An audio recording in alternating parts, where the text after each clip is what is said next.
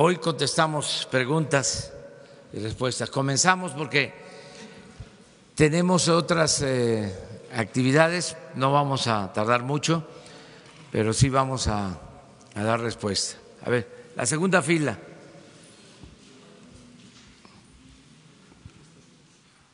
Buenos días, presidente. Mariana León, del periódico El Financiero.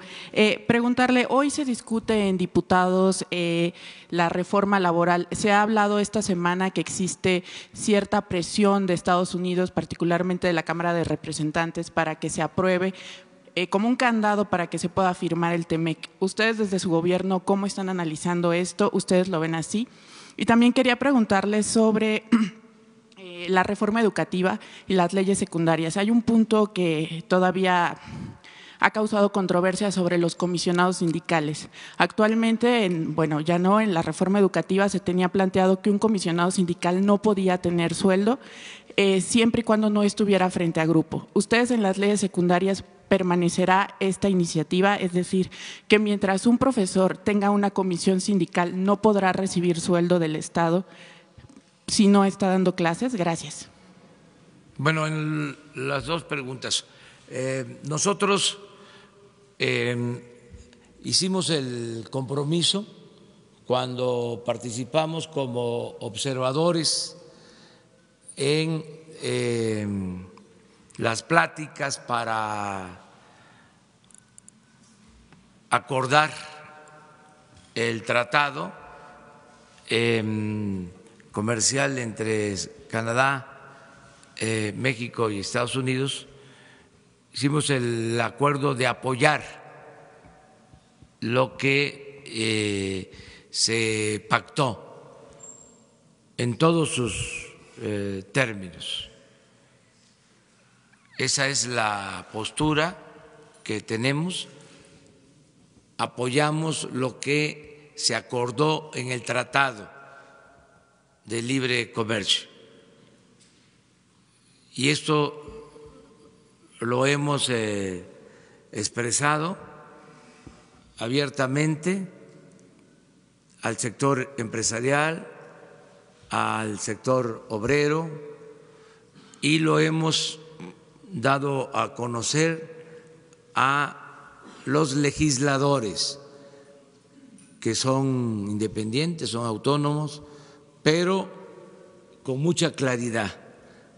Hemos eh, dado a conocer nuestra opinión de que debe de aprobarse eh, una reforma laboral apegada a los acuerdos que se establecieron en el tratado no queremos que se dé ningún motivo para reabrir las negociaciones del tratado. Consideramos que no le conviene al país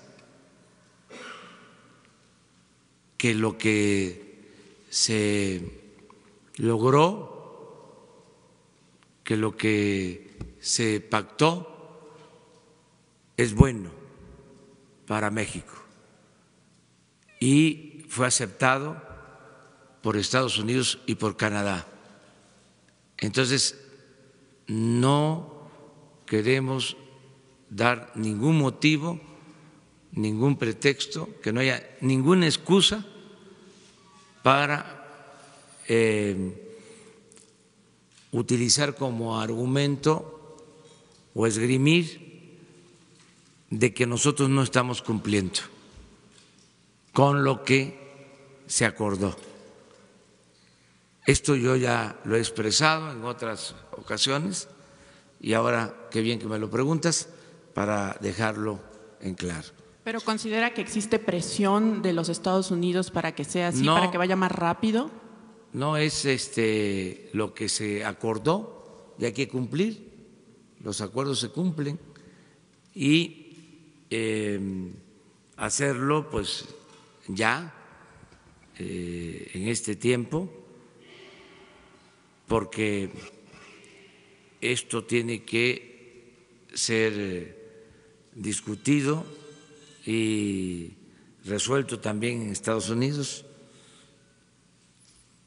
Entonces, que por lo que corresponde a nosotros, eh, actuemos de común acuerdo para que eh, no se dé ningún motivo a una eh, apertura en las negociaciones. Y sobre mi segunda pregunta, eh, en la discusión que se tendrá de las leyes secundarias que trabajará muy de cerca su gobierno con los legisladores, ¿usted eh, contempla que propongan que los comisionados sindicales no reciban un sueldo del Estado mientras estén en estas funciones dentro de, su sindicato? Todo lo que esté este, acordado se tiene que respetar, es mi punto de vista. Pero, según entiendo, esto que estás planteando es de la reforma educativa, ¿no? De la reforma educativa, sí. Sí, no, pues eso está ahora este, revisándose. Nosotros eh, estamos buscando que se cancele por completo la anterior reforma educativa y que este, se pueda tener un buen entendimiento con los maestros también en este punto, que se cancele. En todos los puntos. Y esta, esta marcha que tendrán eh, los maestros que dicen que el viernes estarán, eh, se, estiman 40 mil marchando en la Ciudad de México con bloqueos como medida de presión, ¿esto no podría dejar a los niños sin clases y no tendría los maestros algún tipo de descuento por no estar yendo a clases? No. no, tienen derecho a manifestarse y este durante el tiempo que llevamos en el gobierno no ha habido este paros frecuentes, no han dejado los niños de tener clases y no ha habido problema mayor. Y espero que no eh, tengamos diferencias de fondo, ellos tienen derecho a manifestarse, es la democracia. Cuando ya no haya manifestaciones, cuando ya no haya huelgas, es porque ya se murió el sistema político democrático o no hay democracia. Es que tiene que haber este discrepancias, tiene que haber pluralidad, no puede haber pensamiento único. En el autoritarismo no se mueve ni una hoja del árbol de la política. No me lo estás preguntando, pero seguramente este, va a salir la pregunta y me adelanto. Estoy contento, satisfecho porque es un buen signo el que el Senado haya rechazado de nuevo las ternas que envié para la CRE. Estoy, pero muy contento, este, porque esto demuestra que estamos viviendo una etapa nueva algo nunca visto para aquellos que podrían decir que es más de lo mismo, pues no. Y es eh, un buen tema de investigación para constitucionalistas. ¿Desde cuándo no se le rechaza? Una terna por dos ocasiones al presidente de la República. Que yo recuerde, pues no sé, creo que no. Fíjense que le rechazaban reformas al presidente Juárez, porque era un Congreso independiente. Quiso en una ocasión hacer una modificación a la Constitución y estaba este, regresando de eh, su estancia en el norte después del triunfo de la República sobre las fuerzas conservadoras y el imperio y que fue recibido aquí en la ciudad pues este con expresiones de júbilo fue cuando eh, dice ese discurso memorable y la frase entre las personas como entre las naciones, el respeto al derecho ajeno es la paz. Acaba de pasar eso y envía una reforma a la Constitución, pero el Congreso también formado por liberales. Y habían también algunos conservadores, pocos, y le rechazan la reforma, porque quería eh, declarar estado de excepción, porque habían quedado eh, bandas que asaltaban había mucha inestabilidad en el país después de la guerra de intervención y él quería poner orden y los diputados le rechazaron su reforma. Creo que a Lerdo también, con Porfirio Díaz, no este, le daban la razón los diputados antes de que abriera la boca.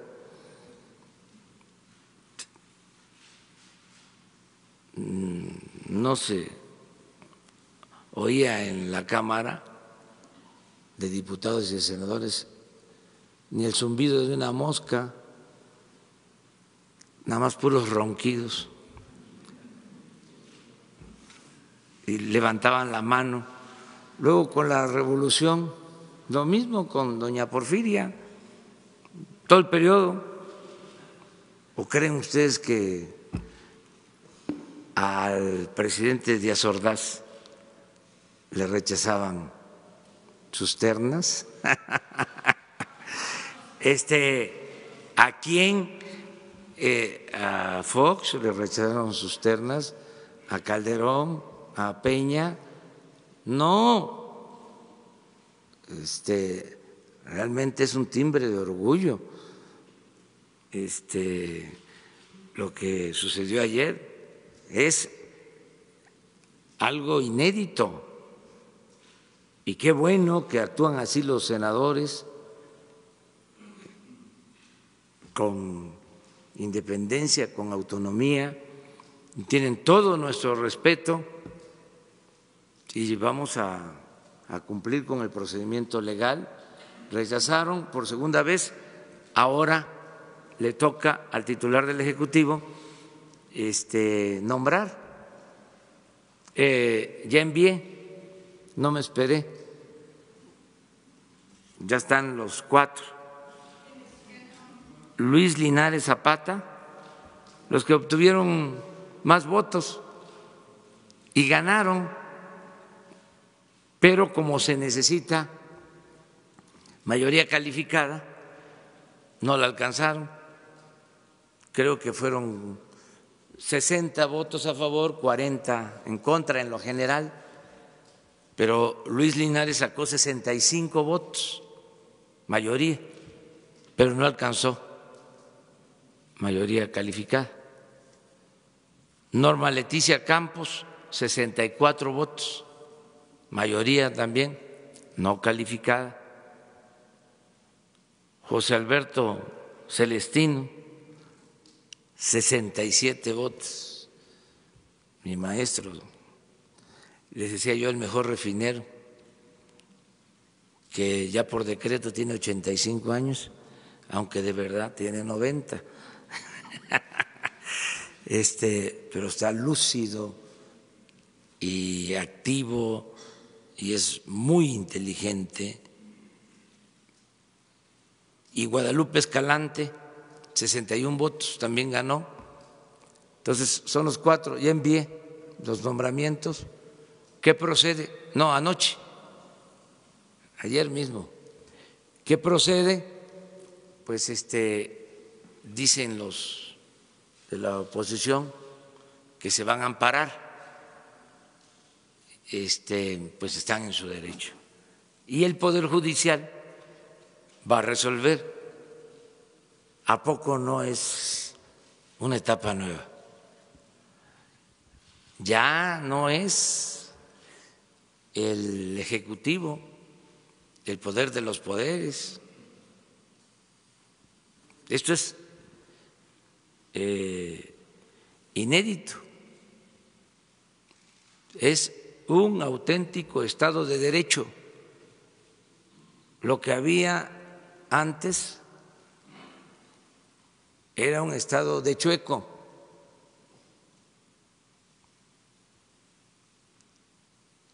Predominaba la politiquería, eh,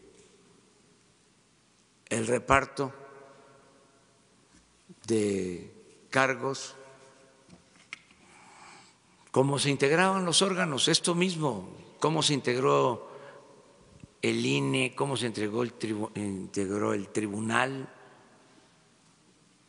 dos para ti, dos para el otro, dos para el otro. Entonces, ya eso ya no.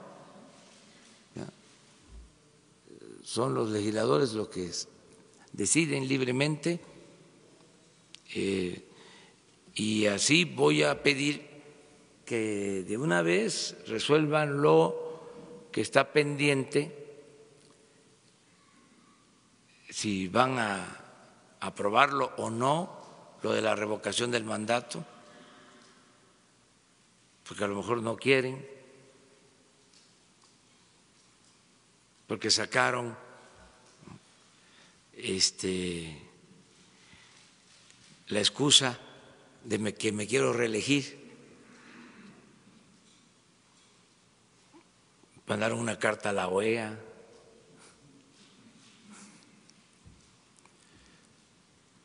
Este, pero ahí está en el Senado esta reforma para eh, aplicar la revocación del mandato y preguntarle a los mexicanos en el 21 si quieren que continúe en la presidencia o que renuncie. Entonces eso lo tiene que resolver el Senado. También se requiere dos terceras partes, mayoría calificada, y tienen también lo de la reforma al artículo 35 de la Constitución para las consultas, para ver si se pone a consulta el que se inicien procesos de conformidad con la ley en contra de los presidentes del periodo neoliberal. Salinas, Cedillo, Fox, Calderón, Peña Nieto. Eso también está ahí. Lo tienen. Entonces, ojalá y ya salgan estas cosas que están ahí pendientes. ¿Mande? No, eh, es que se termina el periodo a finales de, de este mes y ya tienen este, por ejemplo, en el caso de la revocación, eh, ya se aprobó en la Cámara de Diputados, entonces corresponde al Senado. Estoy pidiendo respetuosamente que también ya eh, resuelvan sobre este asunto, ¿no? sobre las dos cosas, revocación del mandato y reforma al artículo 35 para poder llevar a cabo la consulta a los mexicanos si quieren eh, que se inicien procesos en contra de los eh, presidentes del periodo neoliberal. Allá. Presidente, eh, yo quiero hacer dos preguntas acerca de su reunión más tarde con el titular de la Organización Mundial del Comercio. ¿Qué van, ¿Qué van a platicar? ¿Cuál es el tema? Si se hablará de un posible cierre de la frontera con Estados Unidos, la frontera sur también, y cómo afectaría esto la economía mexicana. Y en segundo lugar, me gustaría preguntarle, ya que usted ha puesto sobre la mesa el tema de la corrupción en el Poder Judicial, si su administración le ha dado seguimiento a los recursos, más de 15 mil millones de pesos que se ejercieron para la implementación del nuevo sistema de justicia penal acusatorio. Y pues bueno, si esto fue desviado, teníamos algunos testimonios durante la implementación de que esto no había, estos recursos no se habían utilizado para la capacitación de jueces, para la capacitación de policías en el caso de eh, otros poderes que estaban relacionados con esta implementación. Si se han encontrado temas de corrupción en este dinero que se ejerció para el, sistema de justicia penal. Gracias. Mire, acerca de lo primero, sí me voy a reunir con em, la máxima autoridad de la Organización Mundial del comercio, eh, pero no está eh, en la agenda lo de el comercio con Estados Unidos. Es una visita, mm, vamos a decir, de cortesía para intercambiar puntos de vista sobre el libre comercio. Nosotros estamos a favor de eh, libre comercio. No eh, vamos a participar en ninguna guerra comercial. No nos interesa, no nos incumbe, no nos importa eh, meternos en esos asuntos. Eh, sí vamos a cuidar nuestro mercado interno, pero respetando acuerdos, tratados comerciales que tiene suscrito el país con eh, otros eh, países y además respetando esta instancia que se encarga de regular la libertad en el comercio, en el mundo. Eh, para eso es la reunión. Cerca de la otra pregunta, llevamos muy buena relación con eh, los eh, integrantes del Poder Judicial, de manera especial con la Suprema Corte, que se está renovando Es un asunto que ellos seguramente van a explicar. El Poder Judicial tiene que explicar cómo se ejercieron esos fondos, si se cumplió con el propósito de mejorar la impartición de justicia. Hay que revisar eh, todas estas eh,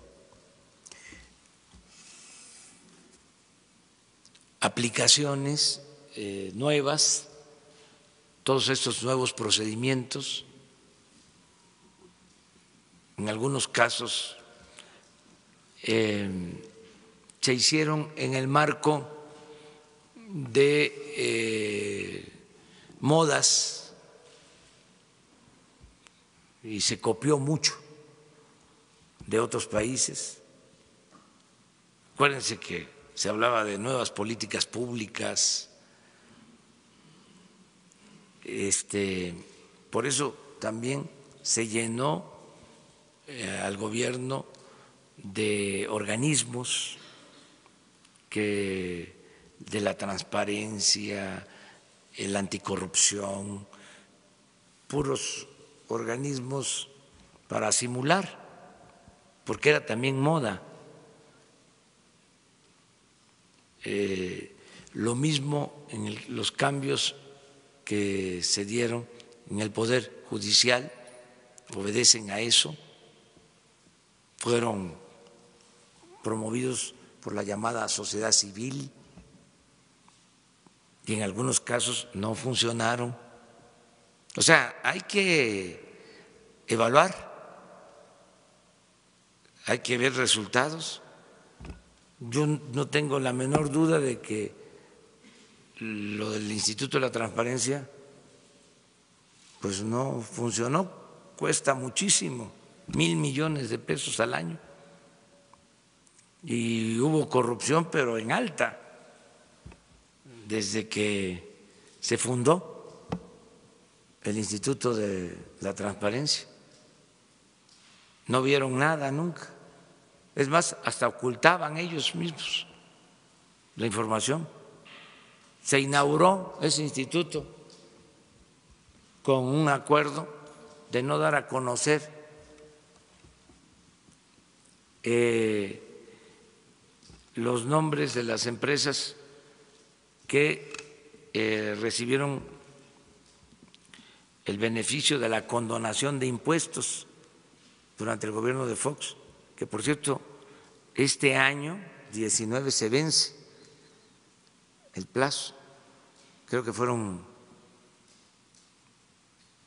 pues sí, como 12 o 15 años que se ordenó mantener en secreto este, esa lista. Qué bien que ahora me estoy acordando porque vamos a pedir informes, porque no vaya a pasar, suceder de que, que este, se vence el plazo y no se dé a conocer, y ahora la tenemos que dar a conocer. Ni modo que vamos nosotros a seguirla ocultando y hasta en la situación de la investigación de Odebrecht también este, inicialmente ordenaron que se mantuviera en secreto la investigación. Entonces, esos organismos, todos esos cambios, hay que revisarlos, eh, hay que ver qué es lo que eh, se hicieron, qué, se hizo con esas modificaciones. Eh, como la vida pública tiene que ser cada vez más pública y no quiero que mañana me digan por qué no nos dijo, de una vez les adelanto que hoy me voy a reunir con el presidente de la Suprema Corte de Justicia. Aquí este, yo lo invité con el compromiso de que la próxima reunión yo lo voy a visitar a él.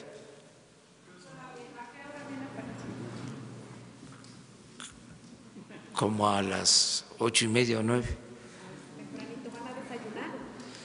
Vamos a desayunar.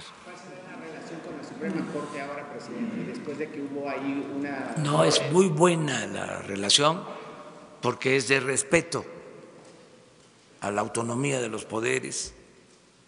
Pero esto, ayer desayuné con el presidente del Senado,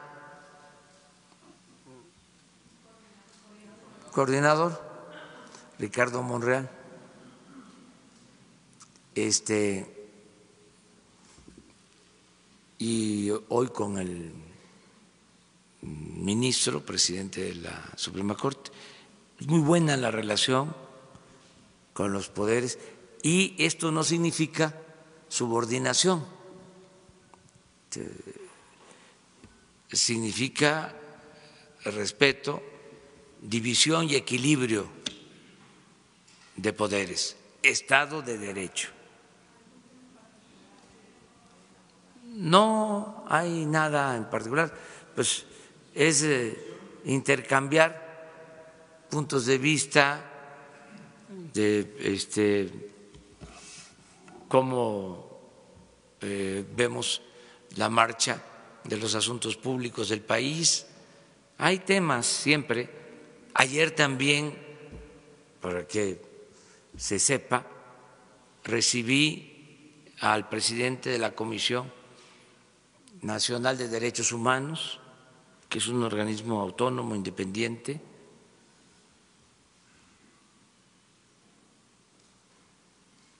constantemente estamos teniendo eh, pues comunicación con los representantes de otros poderes o de organismos autónomos e independientes.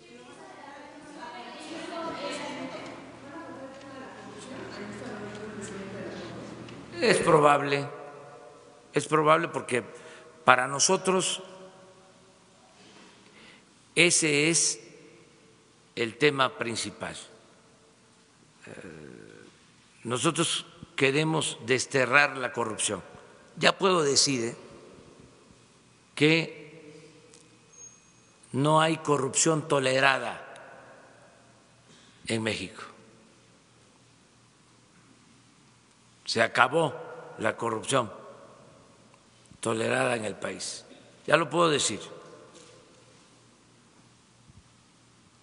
Esto es muy importante, un gran logro en muy poco tiempo. Y ahora de lo que se trata es de que eh, se limpie de corrupción el país, ya empezó arriba, hacia abajo. Pero lo de arriba era lo más pernicioso, lo más dañino, porque los grandes negocios hechos al amparo del poder público siempre se hacían con el visto bueno del presidente de la República. Nada de que eran funcionarios menores siempre era con la autorización del presidente. Porque nos manipulaban mucho, nos hacían creer de que la corrupción era la mordida.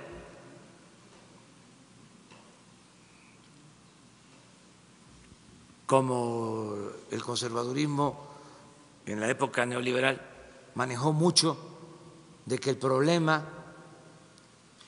en lo hacendario era de que los que están en la economía informal no pagaban impuestos. ¿No se acuerdan de eso? Que querían cobrarle impuestos al viene viene, ¿no? A los franeleros, a los que se buscan la vida como pueden en la calle, mientras los de mero arriba no pagaban. O si pagaban, les devolvían los impuestos. Ahora todos. O sea, no estoy este, hablando a favor de los de la economía informal, estoy diciendo de que eh, era un sesgo, era ver eh, la paja en el ojo ajeno y no la viga en el propio. Y ahí nos tenían distraídos. Era lo mismo de la corrupción. Corrupto era ladrón, el que se robaba un pavo, el que se robaba una gallina, el que se robaba una bolsa en el mercado. Y los grandes ladrones ni siquiera perdían su respetabilidad se ponían hasta de ejemplo, siempre lo he dicho,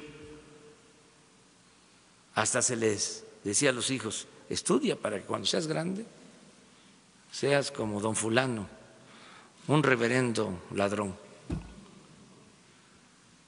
Era el peor de los daños, no perdían su respetabilidad. Entonces, ya, comenzó la limpia arriba y ahora vamos hacia abajo y todos vamos a ayudar. Está en el Senado también un proyecto de reforma que envié que le llamo de confianza ciudadana, porque vamos a quitar todos los inspectores de calle los que van a establecimientos comerciales, a restaurantes, supuestamente a vigilar que se cumplan las normas y que en muchos casos son extorsionadores. Llegan, sí, eh, a buscar la cuota. Eso se termina. Ya no va a haber inspectores.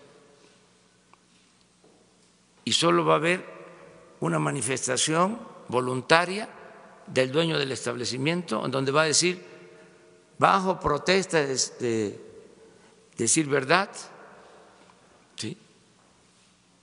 expreso que conozco mis responsabilidades y soy buen ciudadano.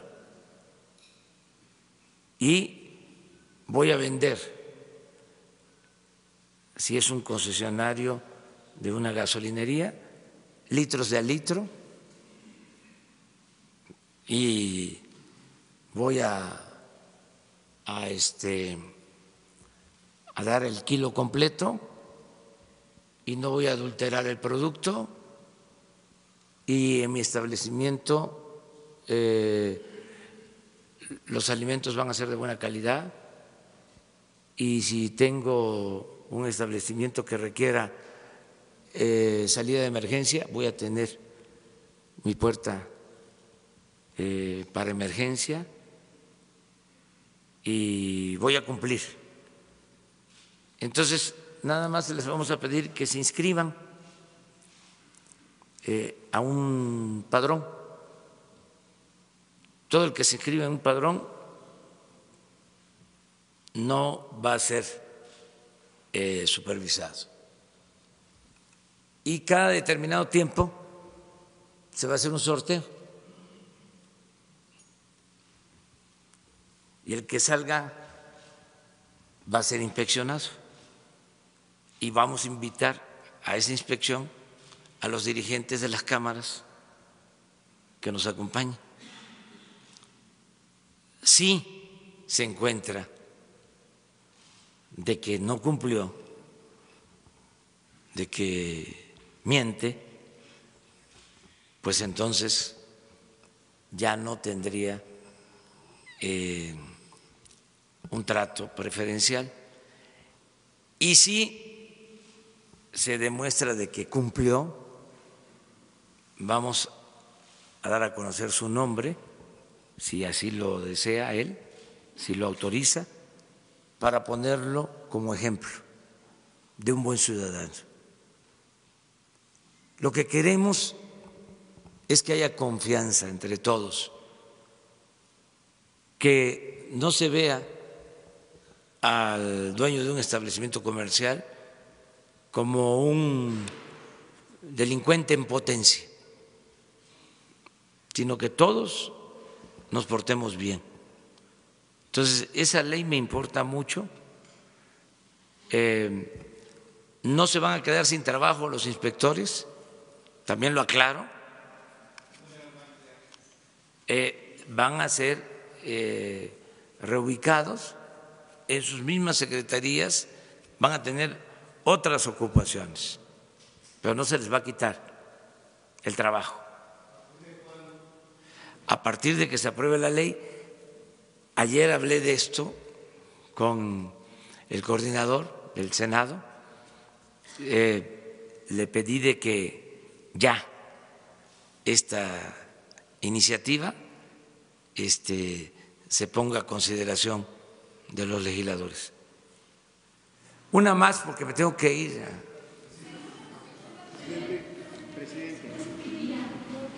A ver.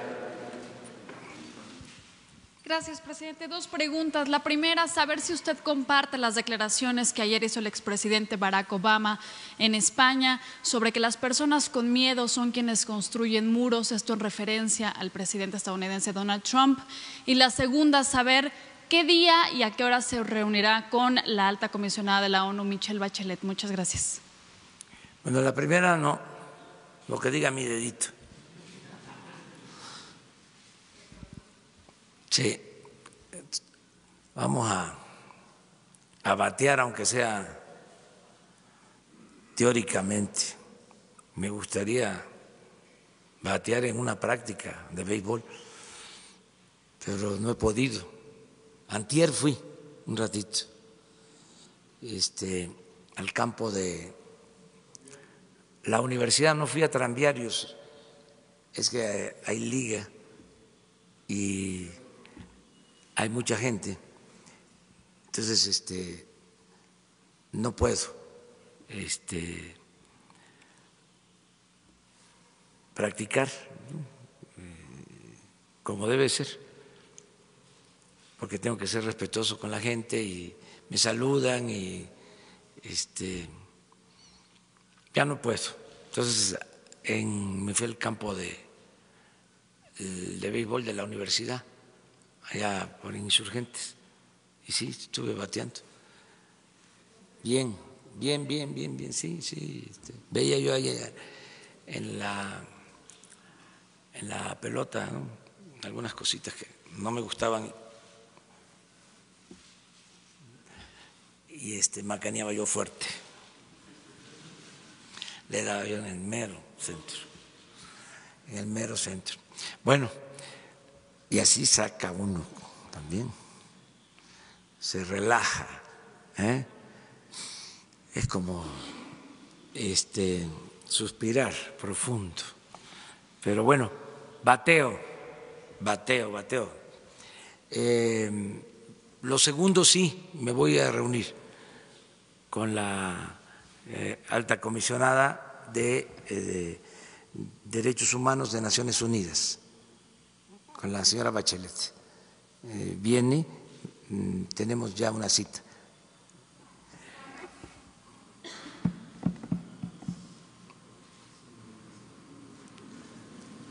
Jesús. Es la semana próxima.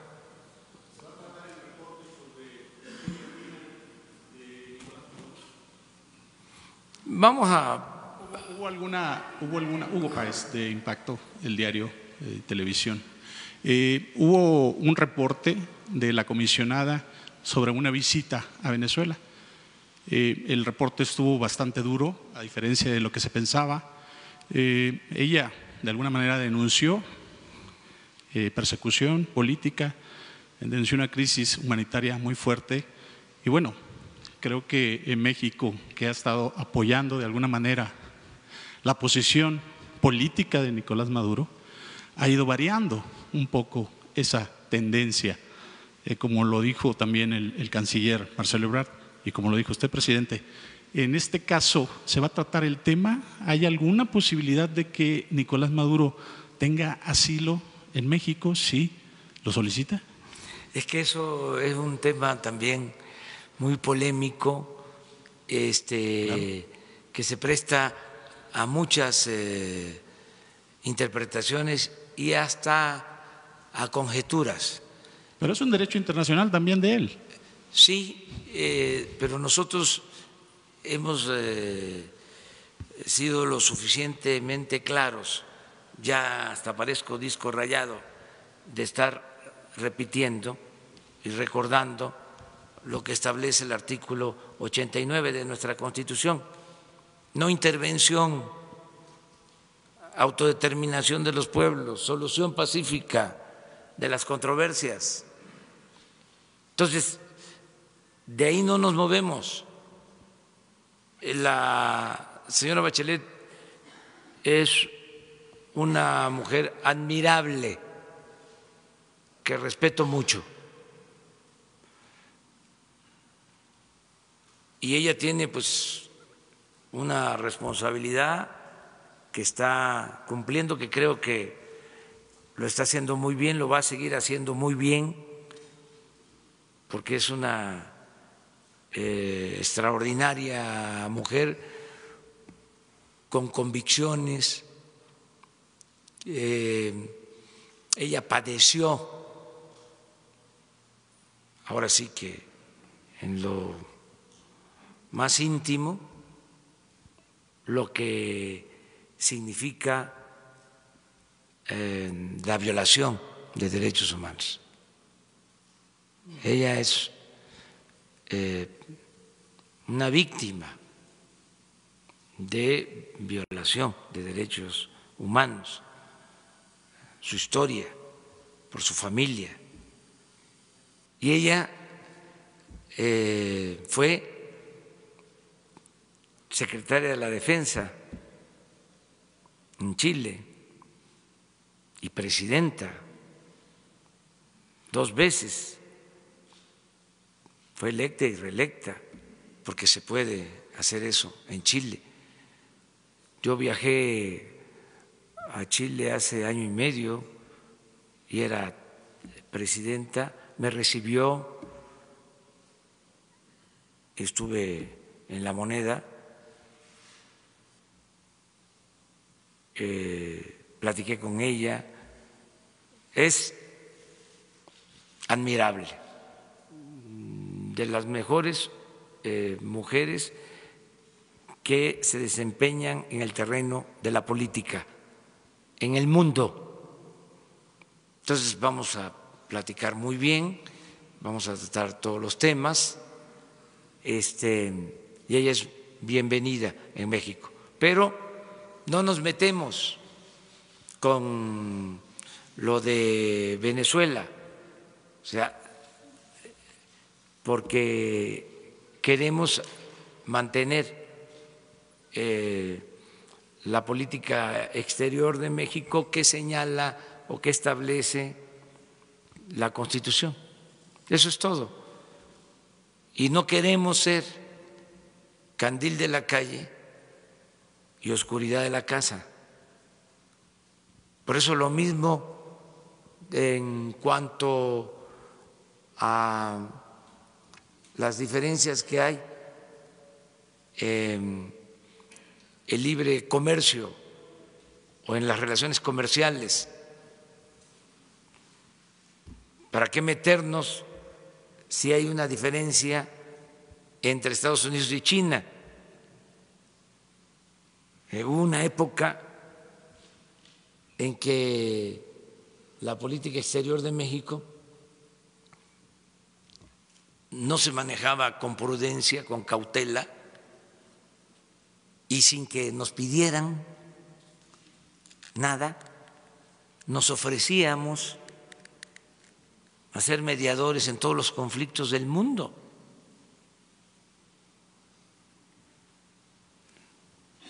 Nosotros no tenemos esa función, para eso es la ONU. Y nosotros lo que tenemos que procurar es limpiar nuestra casa. Siempre he dicho que la mejor política exterior es la interior.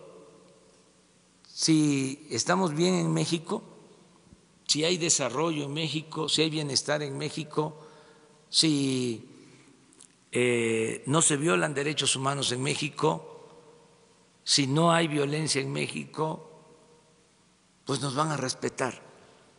Afuera vamos a, ser respetados afuera.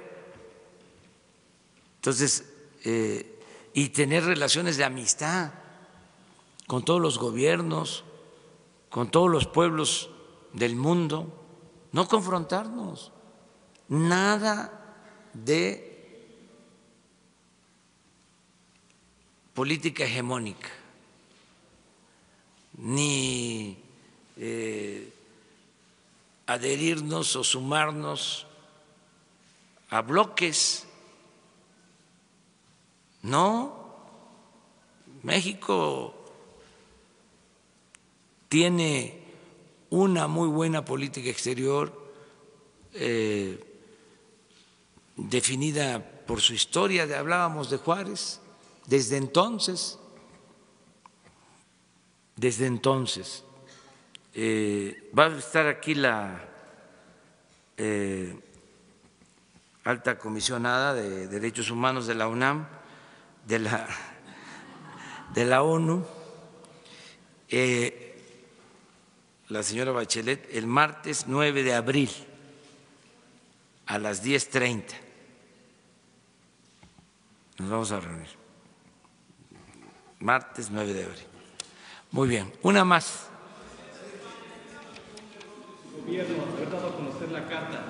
Buenos días a todos, Alberto Morales del Universal. El presidente de España está diciendo que fue un error de su gobierno haber dado a conocer la carta uh, del, hacia el rey de España, donde le está pues, eh, proponiendo que den una disculpa por la por la, devastación que hubo en la, la conquista. Y también eh, pues está diciendo que no se puede ver con los ojos del pasado, del presente, lo que ocurrió hace 500 años. ¿Cuál es su opinión? Bueno, eh, nada más precisar que yo no di a conocer la carta.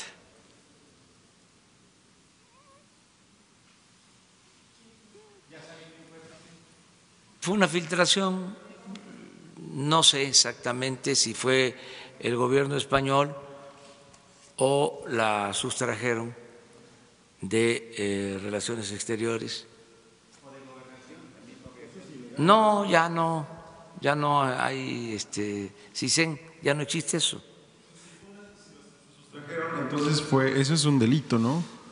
Puede ser, sí, pero no se, no se, no se ha hecho investigación. Se llevó a España este, entonces hay las dos posibilidades. Pero sí se equivocaron. O sea, lo digo respetuosamente, no vaya a ser que se enojen. Este, con mucho cuidado, no quiero testerear a nadie, porque hay mucha sensibilidad eh, a flor de piel. Eh, pero el gobierno español da a conocer un boletín diciendo que reprobaba el que yo eh, diera a conocer la carta que había enviado al rey. Sí, el contenido, pues la carta y resulta que nunca di a conocer la carta.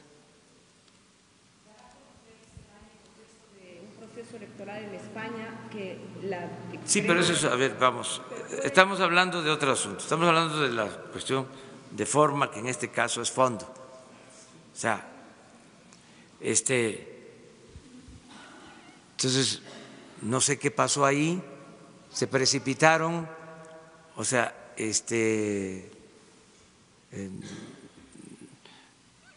porque no eh, es cierto de que se haya dado a conocer la carta. Eso, nada más aclarando.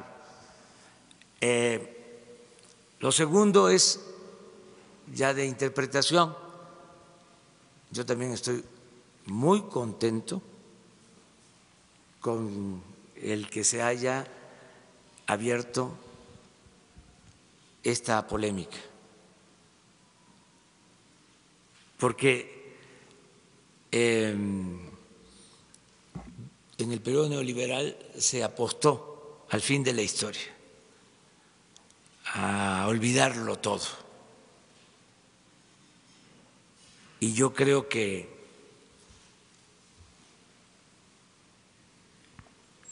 debemos saber de dónde venimos para saber hacia dónde vamos. Y lo que planteo es precisamente que ya no siga oculto eh, todo ese pasado,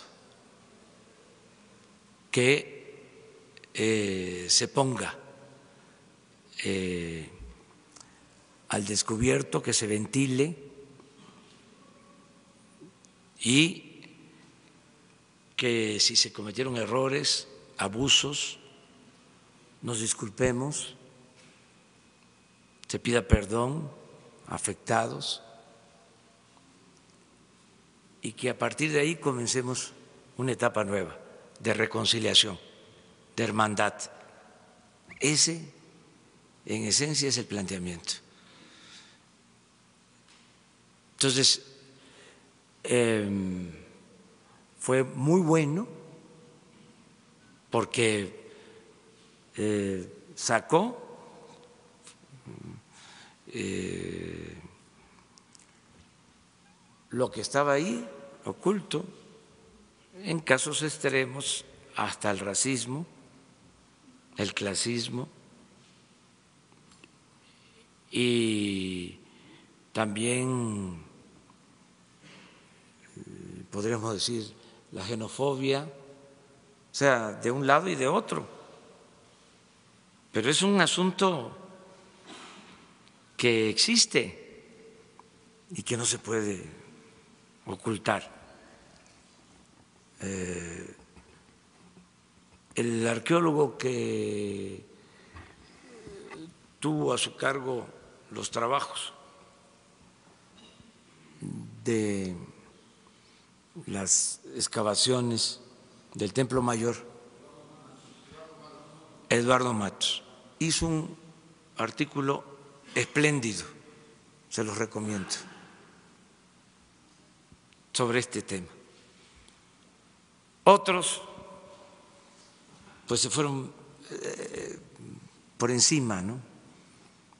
Este, pero ese artículo del arqueólogo es muy bueno, porque se requiere sensatez, se requiere interpretar lo que se necesita. Vamos, estamos en los 500 años de la conquista. Em, vamos a conmemorar en el 21 los 200 años de nuestra independencia. Pues cómo este, no vamos a hablar del tema. ¿Y por qué nos tenemos que molestar o inconformarnos? Eh, además, la política y sobre todo el poder es humildad, no es prepotencia, no es arrogancia, no es mentalidad.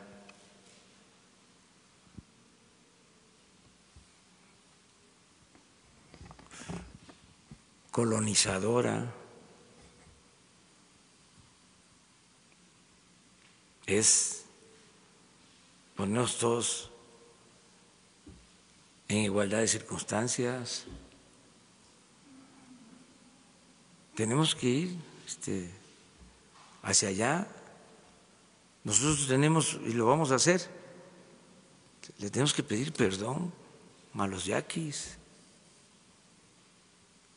por el exterminio, por las deportaciones a los mayas, lo vamos a hacer, a los eh, familiares de las víctimas de la persecución y del asesinato masivo a chinos en el porfiriato, en la revolución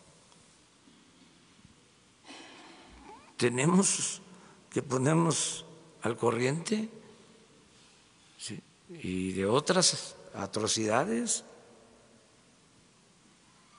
Tenemos que hacer eso. No decir ya, ya eso ya es pasado. O sea, no, es la cuarta transformación de la vida pública del país. Y también en esto hay cambios entonces, despacio, que nadie se este, altere y pues ofrezco disculpas por las obras, este, por las molestias que causan estas obras. ¿Mande? Buenos días, Noemí Gutiérrez de Efecto TV. ¿Hay fuego amigo en su gobierno después de esta? No, no, este, hay unidad, estamos trabajando de manera conjunta. También hay libertades. ¿eh? No es este em, obligar a nadie a tener una postura. Este es un gobierno de mujeres y de hombres libres. Pero claro que hay coincidencias. Pues la mayoría de los que están en este gobierno, sobre todo los que estudiaron en, en ciencias sociales, pues leyeron no solo a Bernal, Díaz del Castillo, sino leyeron a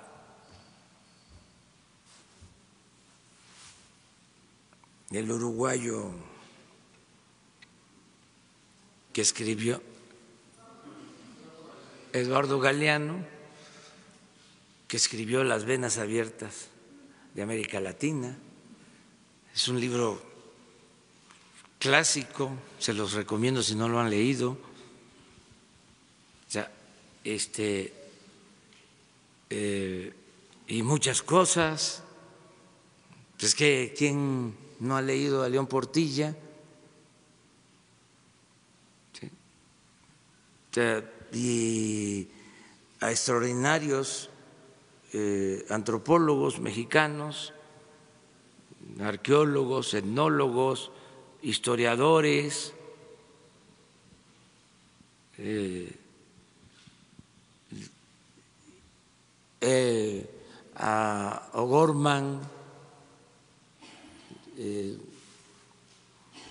en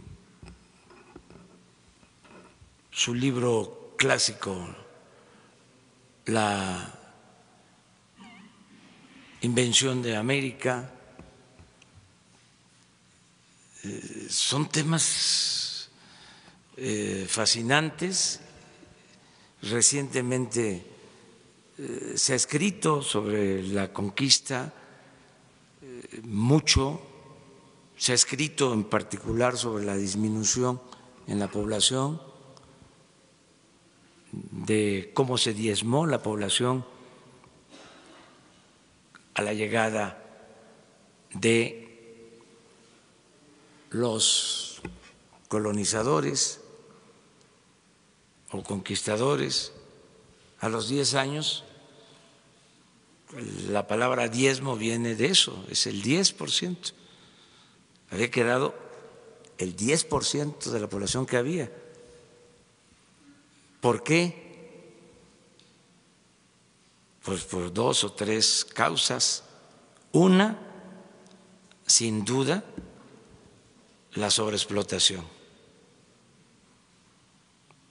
Pues por eso la defensa de eh, Bartolomé de las Casas, defensor de los indígenas, eh, incluso las leyes de India que se aprueban para evitar el despoblamiento por completo. Hay historiadores que dicen que las leyes de India y la protección a los indígenas, más que por razones humanitarias, se llevó a cabo porque se iba a acabar con los huevos eh,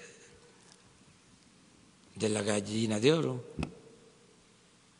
que no iban a haber este, brazos durante toda la colonia hasta el siglo XIX, un lamento eh, de los propietarios era la falta de brazos, de que no había población suficiente. En mi estado, por ejemplo, después de tener una población de alrededor de 200 mil habitantes, se redujo a los 50 años, ya habían 30 mil, de 200 a 30 mil. Y Tabasco nunca pasó en tres siglos de dominación colonial de 40 mil habitantes en 300 años. Bueno, una causa, la sobreexplotación. Otra, las enfermedades que se convirtieron en epidemias que diezmaron a la población porque eran enfermedades nuevas que no se conocía cómo se debían de tratar, los curanderos tradicionales no sabían y eran epidemias, eh, el cólera, eh, la viruela, ¿sí? Entonces, eh, todo esto, pues, eh, ¿por qué no este, revisarlo? Hace como una semana estaba hojeando el libro este de historia de cuarto año de primaria de los años 60. Qué buen libro en contenido. Tratan, por ejemplo, en ese libro de cuarto año de primaria, de texto, lo de la intervención estadounidense a México. ahora es un tema vedado, nadie habla de eso. Y en ese libro de cuarto año de primaria, de los años 60, viene hasta un plano, un mapa de cómo era nuestro territorio y cuánto nos quedó. Viene explicada de manera sencilla para cuarto año de primaria lo que fue la guerra del 47 y del 48, donde se nos eh, quitó más de la mitad del territorio. Todo eso desapareció. Eh, esos contenidos. Ahora yo celebro que regrese el civismo eh, y otras materias. Entonces, ¿por qué este, pelearnos si es eh, recrear nuestra historia? No debemos de olvidarnos, no odiar, que es distinto, pero no olvidar,